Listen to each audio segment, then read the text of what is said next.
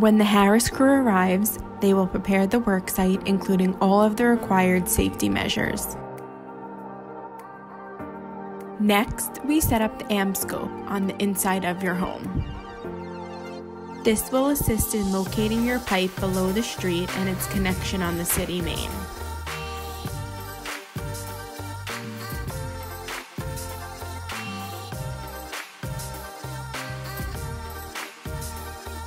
Now that the connection on the city water main has been located, we will begin using a jackhammer to remove the first layer of asphalt in the roadway.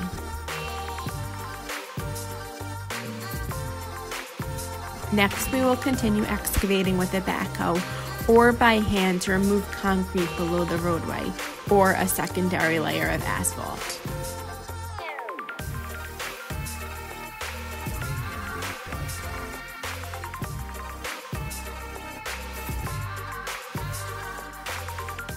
We will continue making additional holes in the street, sidewalk, or your property as we get a step closer to installing the new pipe.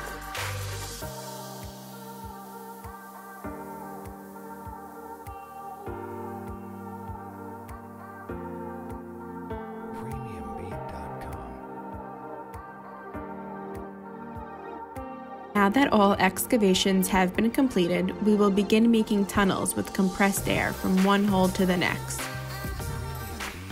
We will now attach a metal chain to the new copper pipe, which will be pulled through each of the tunnels previously made.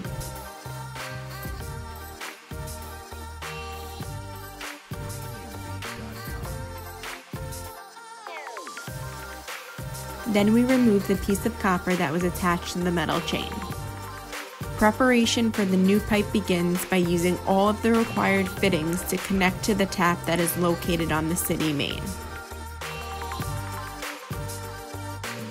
Inside your house, the new copper main is reconnected to the existing pipe with a new control valve.